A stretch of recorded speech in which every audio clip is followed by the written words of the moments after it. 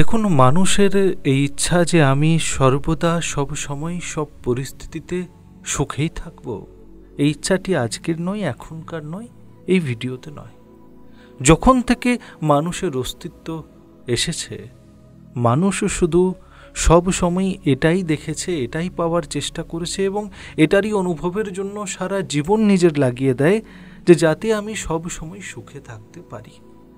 কারণ কষ্টতে থেকে আপনার জীবনের বাকি যে দিশা আছে, বাকি যে দৃষ্টিকোণগুলো আছে, যেগুলোর উপরে আপনাকে ধ্যান দেওয়ার প্রয়োজন আছে, সেগুলোতে আপনি দিতে পারেন না। হ্যাঁ এটা একটা আলাদা ব্যাপার যে যখন মানুষকে সুখ ঘিরে নেয়, তখন তার দৃষ্টিকোণ, দৃষ্টান্ত সব কথাও হারিয়ে যায়, সে ভুলে যায়। দুঃখের সময় দৃষ্টিকোণ মনে পড়ে, দৃষ্টান্ত মনে পড়ে, অবস্থা মনে পড়ে, ভবিষ্যৎ মনে পড়ে, সুখের সময় মানুষ শুধু একটা জিনিসকেই মনে রাখে, সেটা হচ্ছে আনন্দ ভোগ বিলাস। আপনি কি করতে পারেন যদি আপনি চান যে সবসময় আমি সুখী থাকব?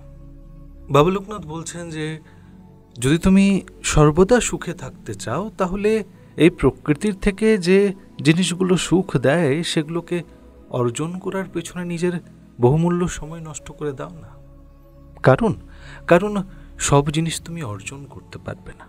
তোমাকে যদি সুখময় জীবন চাই, তাহলে নিজের ভেতরে যে জিনিসগুলো তোমার দুঃখের কারণ রয়েছে, তার মধ্যে যদি পারো, তাহলে একটা আধটা বাদ দিয়ে দাও। তুমি সর্বত্র নিজের ভেতরেরও বার করে দিতে পারবে না।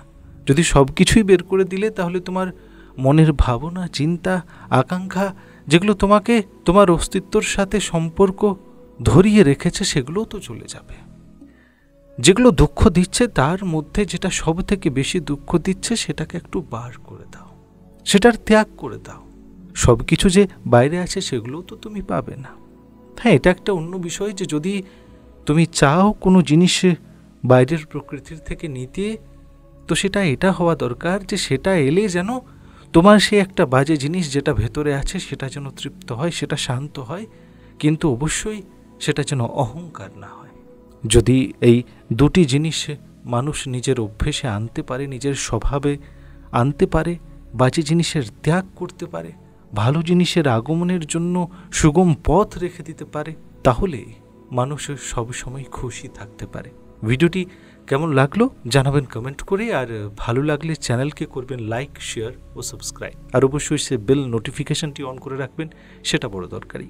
জয় বাবা মঙ্গলকারী, লোকনাথ ব্রহ্মচারী।